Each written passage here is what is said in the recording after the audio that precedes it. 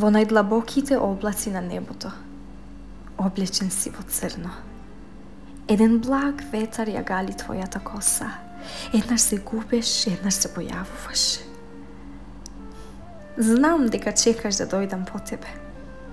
Во најдлабоките облаци на небото, ти в кој лудило ме бараш мене.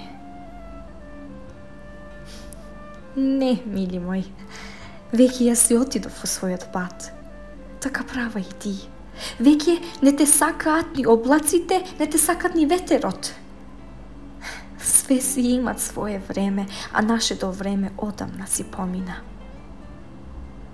Знам, знам дека ќе ме бараш мене и мојата љубов искрена, али ти толку многу ме загаде мене што Прости ми, мили мој. Веќе ова мое срце од камен не те сака ни тебе, ниту некој друг. Секоја ти чест.